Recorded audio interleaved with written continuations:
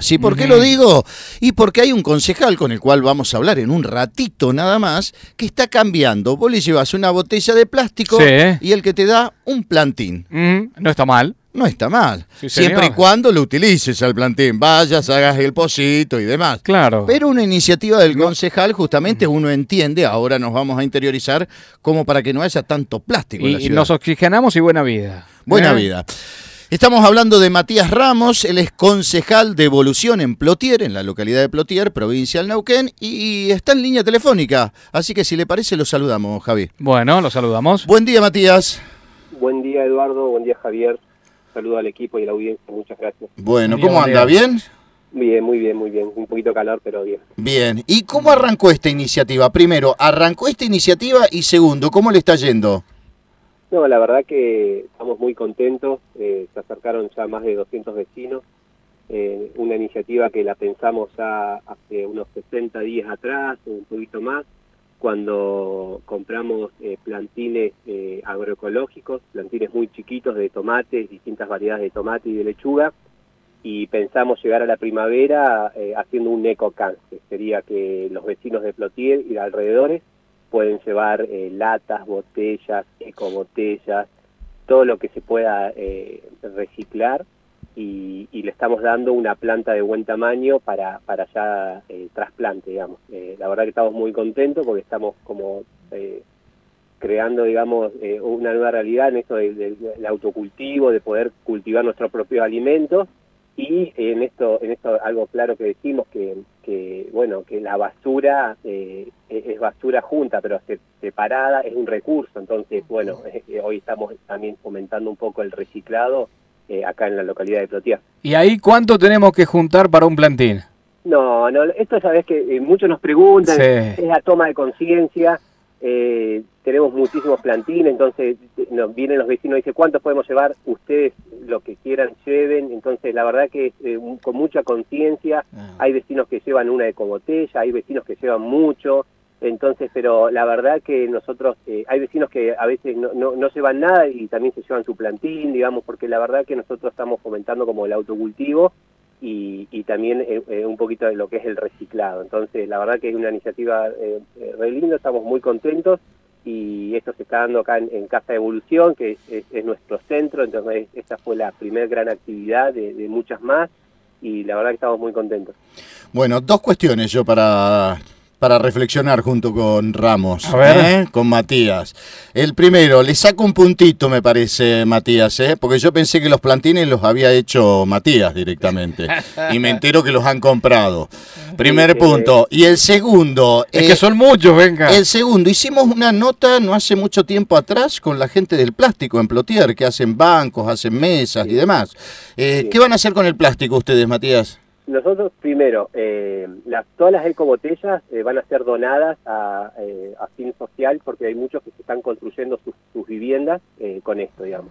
Eh, entonces, esto, esto lo, vamos a estar poniendo en las redes. Tenemos muchísimas ecobotellas que eh, son muy térmicas y demás. Y después lo otro, estamos pensado también llevarlo al punto de Danger, que nosotros también estamos articulados también con la municipalidad y, y hay un ecopunto acá entonces la idea es que puedan hacer eh, materiales que, vuelvan a la comunidad, que pue- pueda hacer un banco. Estamos haciendo nosotros, hoy vamos a ir a plantar frutales a una plaza, entonces que esos bancos puedan estar en esa plaza, por ejemplo. Entonces la, la verdad que venimos con, con muchas actividades y en este caso puntual eh, no son semillas nuestras, pero sí son, eh, son semillas cuidadas y, y orgánicas. Entonces también eh, estamos pro- promoviendo lo, lo- lo orgánico con varias ordenanzas acá. Entonces, venimos como en, en esa, en, esa, en esa temática. Bueno, y eh, no, eh, es muy requerido el, pla- eh, el, el plantil de lechuga. ¿Plantines de lechuga dijiste además de tomate? Plantines tenemos eh, dos variedades de lechuga, morada y repollada, y después tenemos plantines eh, de, tomate, digamos, cherry y redondo, platense. Ese pero- lo buscan más, ¿no? El, Sí, el plantil. sí, porque Claro. tiene más, eh, la planta de lechuga tiene una, una vida eh, cort- más corta, digamos, eh, y el, el, tomate estamos pensando que en febrero, marzo sigue, sigue estando la planta. y se desarrolla rápido la lechuga. Eh, ¿Qué le parece? bueno, faltaría alguna menta ahí, eh, Matías. una aromática. Para, el trago, digo, como para la noche, ahora que hace calor, un poquito de menta. pero usted se, lo, se, lo, consume antes que se desarrolle. por favor.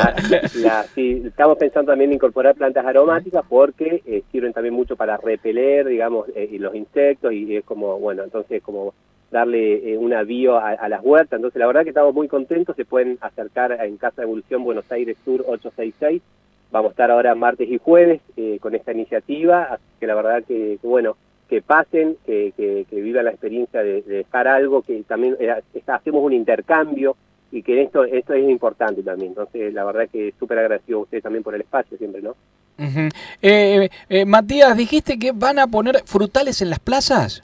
Nosotros venimos ya hace unos largos meses eh, plantando árboles en, las comisiones vecinales que nos van pidiendo a vecinos y bueno, también presentamos una ordenanza para que para la creación de, especies mielíferas con el tema de las, de las abejas, árboles que, tengan flores y frutales y bueno, hoy en este, en este momento a las cinco y media vamos a estar visitando el barrio 2 de abril y estamos llevando eh, eh, duraznos, la verdad que pelones, eh, damascos, llevamos y vamos a entregar eh, también el fruto porque hay, hay plantas que tienen eh, con el fruto, la verdad que es una línea iniciativa que lo hacemos en conjunto con los vecinos, con los niños, con los jóvenes, hablamos del cuidado y la verdad que pensar en, en, frutales uno a veces va a otras localidades, no sé, Salta, Jujuy, Mendoza, y ve naranjas en las plazas, bueno, entonces la verdad que nosotros hoy estamos fomentando esto, que en las plazas hayan frutales, así que la verdad que eh, estamos muy contentos también con, lo que estamos eh, con esta iniciativa. A ver, Martí, eh, Matías, una consulta. vos pertenecés, sos concejal de Evolución en Plotier. ¿Es el partido de Martín Lustó? No, no, no, coincidentemente tenemos el mismo nombre, pero es una colectora que trabajamos mucho con la intendenta Gloria Ruiz, nos permitió ser la colectora que más votos sacó cuando fue intendenta ella, nos dio una banca en el Consejo y bueno, seguimos trabajando muy pegadito a, la Intendenta. Digamos, ahora trabajando también con eh, lo, que es la campaña de Figueroa. Estamos, sí, estamos ahora en un gran armado provincial, nosotros igual seguimos eh, trabajando acá en lo que es en Plotier, pero bueno, estamos también en este armado provincial y bueno, eh, viendo ahí si se puede cambiar también un poquito la realidad de, nuestro querido Neuquén.